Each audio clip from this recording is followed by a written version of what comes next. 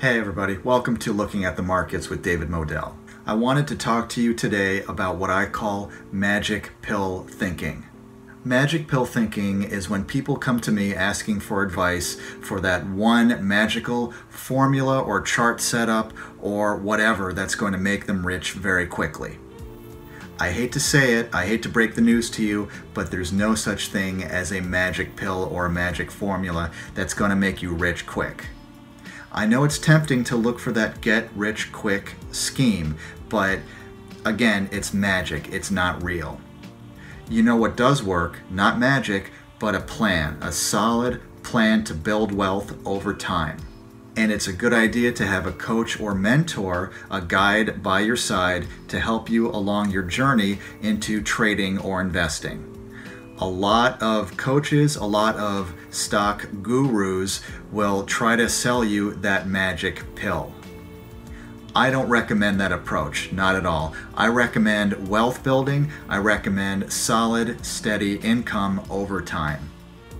I know it's tempting to fall for the magic pill. It's tempting to look for that one chart pattern, that one setup that's going to work every single time.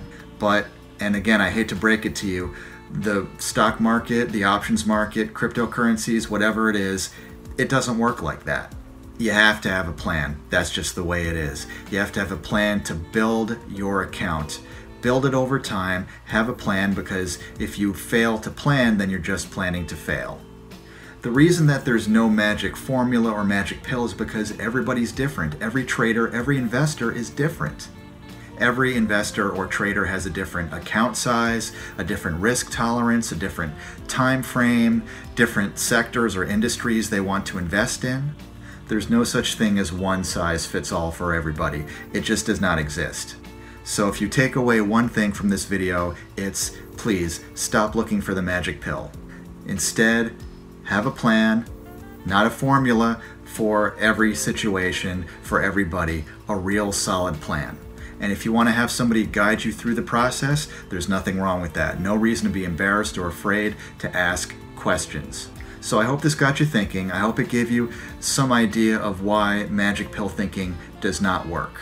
My name's David Moadel. My email address is right down there below, davidmoadel at gmail.com. And if you like this video, please give it a thumbs up on YouTube, subscribe to my channel, hit that bell on YouTube, and leave comments because I like to read your comments and I like to comment back to your comments. Thank you so much for watching and listening. This is Looking at the Markets. I'm David Moadel. I'll talk to you again soon.